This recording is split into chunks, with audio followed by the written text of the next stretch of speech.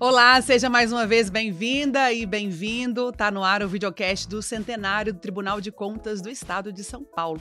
A conversa de hoje é com o Paulo Pastorello. Ele é documentarista e diretor do Núcleo de Documentários da TV Cultura. É também o responsável pelo documentário TCESP 100 anos de cidadania.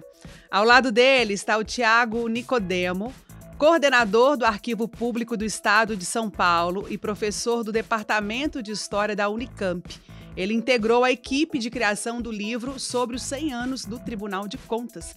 Sejam bem-vindos, gente, fiquem à vontade. Obrigado, Emílio. Um prazer estar aqui com você, com os telespectadores e ouvintes. Prazer estar aqui também, muito grande. Gente, para começar a nossa conversa, eu queria saber um pouquinho da trajetória de vocês. Ah, eu fiz, fiz História e Direito, sou formado nessas duas, e daí fiz carreira acadêmica em História. E, com o tempo eu me especializei em arquivos, em documentos, e agora mais recentemente, nos últimos cinco, seis anos, né, que o tempo de pesquisa é sempre um tempo longo, em arquivos digitais e basicamente como é que a gente vai fazer para contar as histórias no futuro. E depois, é, foi faz três anos e meio que eu estou como diretor do Arquivo Público do Estado de São Paulo. Legal. E você, Paulo, conta pra gente um pouquinho. Bom, sou arquiteto de formação, e, mas já durante a minha formação em arquitetura, o interesse pela imagem e pelo trabalho de campo, enfim, é, fazer iniciação científica. É, eu encontrei no documentário um jeito de juntar as duas, as duas paixões, assim, produzir imagens e estar tá em contato com o campo, né? Eu acho que o documentário é, é, é bastante isso, então eu já, como conclusão de curso, fiz um documentário e não um projeto, e desde então, há 20 anos, eu produzo, dirijo documentários. Ô Paulo, conta um pouco mais para a gente sobre essa escolha de contar histórias por vídeo e a experiência de contar a história de uma instituição. Como é que foi isso? É, eu acho que o documentário, ele é um tipo de pesquisa, né? Assim, é, é, é sempre um mergulho vertical, você acaba conhecendo muito daquele tema é, a, a, partir dessa pesquisa, enfim, a partir dela você vai escolhendo, enfim, um caminho narrativo para poder abordar, que são sempre diferentes, né? Contar a história de uma instituição, de uma família de imigrantes ou de um, de um viaduto. Enfim, eu fiz um documentário sobre o Minhocão, é completamente diferente. Eu acho que eu sou um historiador frustrado, eu acho que eu devia ter feito história. eu acho que contar a história por imagens acabou sendo uma maneira de, de fazer história sem ser um, um historiador. Enfim, eu acho que acho que o cinema, o, o, o vídeo também conta história, com prerrogativas diferentes, mas mas também conta história. Contando o desafio de contar a história de uma instituição que é aparentemente uma coisa rígida, né? uma é. coisa respeitável, sólida, mas que é difícil fazer representar, né, Paulo? Sim, sim, bastante. Foi desafiador? Muito, muito, porque a gente não sabe exatamente o que a instituição faz, né? Então é justamente isso. Primeiro você fala assim, ah, uma coisa que é do campo do direito, né? Formais, papelada, enfim, né?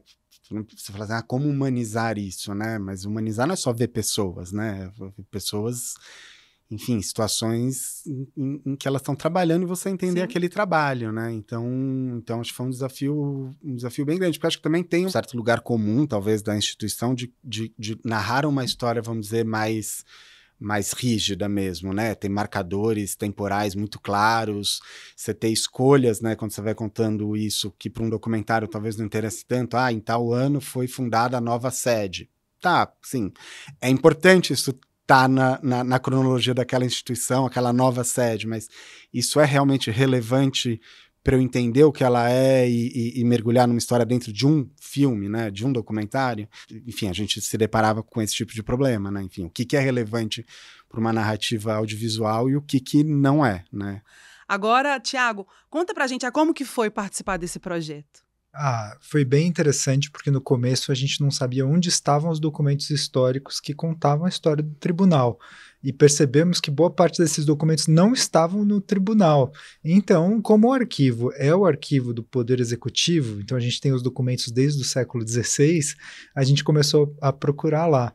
E daí a gente começou desde essa época a conversar e o tribunal cedeu estagiário, cedeu uma estrutura de pesquisa e daí entraram outros professores, né, que hoje são os coautores, os responsáveis pelo livro. É bom que se faça essa, essa justiça, que é o Ariel Pesso, a Iris Cantor e o Zé Reinaldo de Lima Lopes, e, e a gente montou uma super equipe de pesquisa que foi incrível e, e, começou a procurar as coisas a partir do arquivo.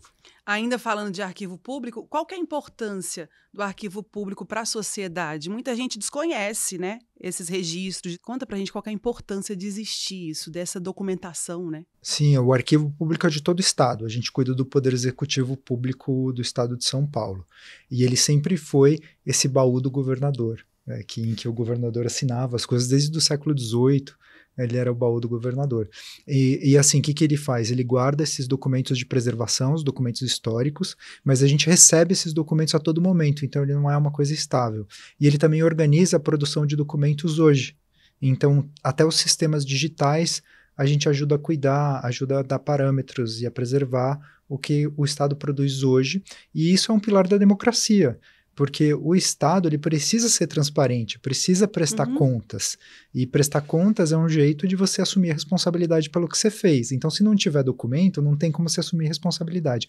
E nesse sentido, Tribunal de Contas e Arquivo Público do Estado de São Paulo são instituições irmãs, porque os dois dependem dos documentos em dia, os dois dependem da transparência, os dois são pilares da transparência pública. Tem uma história que o arquivo colaborou muito com o tribunal na época de implantação da Lei de Acesso à Informação que foi a partir de 2012.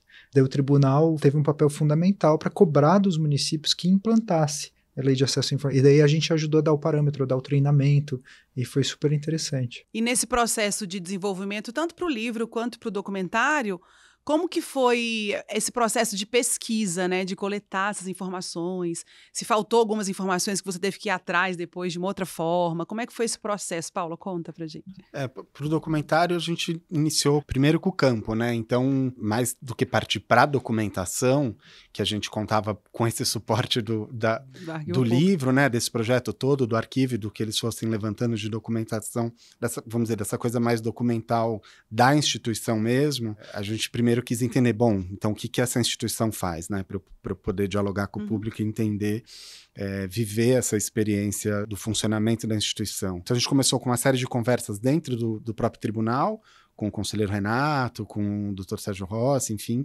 tendo panoramas mais gerais da história, depois conhecendo com as pessoas que coordenam mesmo a equipe de fiscalização e tudo, e a gente foi cada vez se embrenhando mais é, para chegar nesse nesse contato direto com quem, com quem eles trabalham, que são os jurisdicionados, enfim, quem está prestando conta para eles, né? Agora falando um pouquinho do processo de desenvolvimento do livro, qual foi o seu papel no desenvolvimento do livro? Eu ajudei a coordenar as equipes de pesquisa e não fiz isso sozinho também, porque os servidores muito experientes e muito técnicos do arquivo também atuaram né, para orientar os estagiários. Então teve uma, uma, coisa bonita também, porque os estagiários foram muito bons e aprenderam muito e a gente também aprendeu muito com eles. Então o que resultou foi uma grande base de dados de documentos interessantes para o tribunal e que deve ser publicado com um livro, dentro do livro, quer dizer, servir de subsídio do livro, mas também vai ser um, como um capítulo à parte dentro do livro como referência.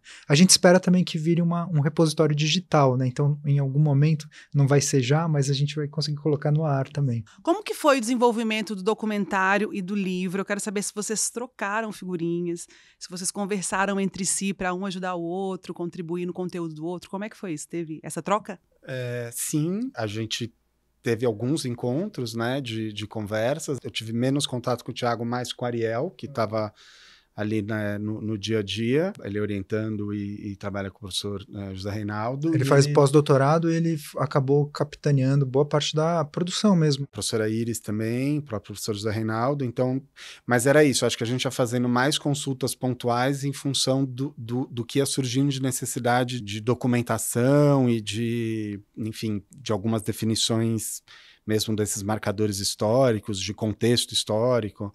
Mas fora isso, acho que o documentário foi seguindo um caminho de pesquisa mais assim, separado, porque era essa coisa de, de viver o campo, viver essa instituição em, em funcionamento, né? A primeira coisa que salta aos olhos, né, nesse assunto é você ver como o tribunal é, acontece nos períodos democráticos e como ele desacontece nos períodos ditatoriais, né? Então você tem um, um desenvolvimento na Primeira República, depois você tem um novo desenvolvimento na redemocratização pós-Vargas, e depois você tem uma, um grande desenvolvimento pós-Constituição de 88, né? Está muito atrelado ao contexto político, né? E Sim, a ideia de democracia, né? Eu acho que por aí também uhum. vem o título 100 anos de cidadania nesse sentido, né? É uma instituição que constrói e induz cidadania, né? Conta pra gente um pouquinho dessa abordagem, dessa escolha, porque eu acho que isso também é uma abordagem, né, do caminho que o documentário vai, vai tomar. Como é que foi isso? É, acho que é um pouco aquilo que eu te falei, que são assim, as coisas vão acontecendo, né? Você tem é, algumas premissas e você vai testando. Então, assim, por exemplo, a coisa da fiscalização,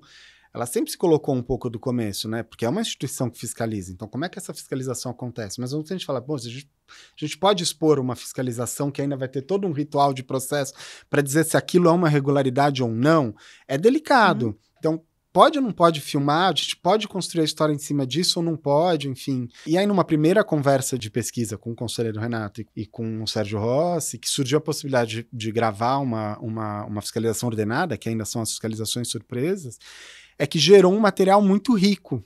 E a gente falou, bom, acho, acho que dá certo a gente ir por esse caminho.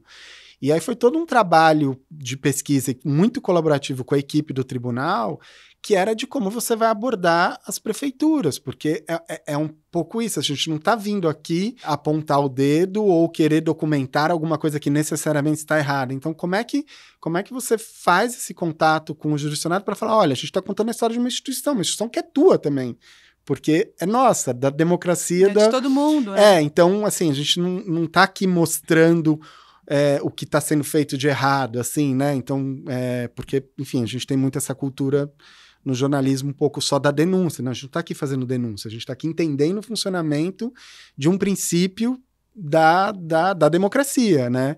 Então, a gente foi muito bem recebido, né? Então, acho que isso abriu muitas portas e foi um processo muito tranquilo, assim com todas as prefeituras que a gente foi. E como é que vocês se sentem fazendo parte da contação dessa história, dessa instituição que é centenária, está celebrando agora em maio esse centenário?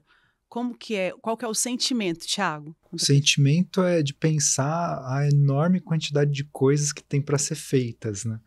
Paulo está citando os municípios, o arquivo está ajudando a é, Secretaria de Gestão e Governo Digital a instalar sistema eletrônico de, infor de, informação nos municípios. Então, fazer com que esses municípios que não têm capacidade sozinhos, eles possam produzir informações já digitais e, e daí circular essas informações, integrar essas informações para fiscalização e transparência. Então, é um efeito em cadeia gigantesco e depende muito do tribunal. E essa é só uma coisa, porque depois vai ter que preservar. Então, assim, tudo que foi feito e que teve no interlaçamento entre arquivo e tribunal, né, de falar, olha, a gente precisa estruturar um Estado, precisa ter desenvolvimento, precisa ter parâmetro, precisa ter democracia, precisa ter vascularização. É, todas essas questões, essa responsabilidade, ela está ativa hoje como desafio também no mundo digital. Então, acho que esse é o meu sentimento, é que é, é um, não é o fim, é, é o começo de uma coisa gigantesca. E você, Paulo, qual que é o sentimento aí? de fazer parte dessa história? Ah, eu fiquei muito feliz por conhecer uma, né, conhecer uma instituição que eu não conhecia e ver o quão importante ela é, né? Enfim, quanto que ela diz é, diretamente a nossa vida e a nossa qualidade de vida é, na, na, cidade, né? E acho que pegando a ponte do, do desafio, né? Eu acho que esse desafio que o tribunal está se colocando hoje é uma pergunta que para mim enfim, sempre querendo ir para o mundo das ideias, um pouco ficava. É, é uma pergunta que me instiga isso, né? Assim, ah, a gente está olhando para a qualidade, mas se eu estou olhando para a qualidade, eu estou entrando no mérito do gasto. Não é, é, só a legalidade, embora se fale da legalidade, que, é, que os parâmetros legais vão te conduzindo a uma, a uma qualidade, você também vai para um outro ponto que é: peraí, a gente agora está também olhando uma questão de mérito, e eu acho que é fundamental esse passo, assim. Então, eu acho que é toda um, uma história que ainda vai se construir de um novo olhar para isso, né? Para o que, que é uma, uma prestação de conta e essa relação né, de distribuição. De, no fim, nem é isso, a gente está falando de distribuição de renda. A gente capta, a gente distribui, a gente executa. E como é que, como é que esse diálogo acontece? Assim, é, porque a pergunta é: o que, que é um uso responsável do dinheiro público no futuro, né? Hoje a gente fala, ah, você vai usar os dados do Estado para produzir políticas públicas melhores, né? Hoje a gente não consegue cobrar tão claramente, mas no futuro vai ser quase obrigatório, né? Um, um gestor olhar para esses dados e só criar uma creche onde tem incidência de nascimento que dê conta dessa creche, e assim sucessivamente. Essa ideia é aplicada para qualquer outra coisa. É uma construção para melhorar a prestação de contas no futuro, né, gente? Que já começou. É. E então, a nossa que... qualidade de vida. E a nossa né? qualidade, de, vida. de vida. Parabéns pelo trabalho dos dois. Eu queria agradecer a participação de vocês. E se vocês quiserem dar um recadinho curto final para a gente poder encerrar. Acho que é obrigado a você pela condução brilhante e um prazer estar do lado do Paulo, né? E, e um cumprimento especial para o conselheiro Renato, que está conduzindo esse processo muito bem. Muito bem. Obrigada. Sim, acho que é, que é isso e que, e que as pessoas conheçam, né? Que, enfim, que leiam o livro, que venham, que assistam um filme, enfim, que conheçam é, de perto a história dessa, dessa instituição que, que vale a pena. Eu estou curiosa. Imagino também quem assistiu a gente vai estar e vai estar. Quando sair o livro, vai pegar para ler e o documentário vai pegar para assistir. Obrigada, viu, gente? Obrigado. Bom, com isso, chegamos ao fim do último episódio da série especial que celebra os 100 anos do Tribunal de Contas do Estado de São Paulo. Muito obrigada pela sua audiência e até a próxima.